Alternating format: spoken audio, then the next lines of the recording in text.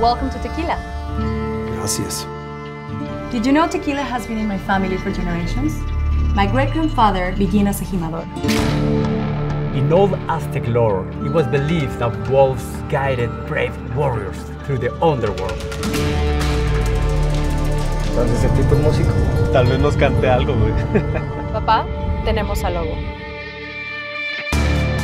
Tequila is sacred here, an art form enriched by tradition.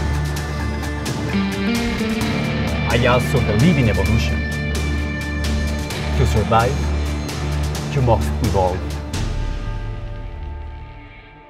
Juan Lobo.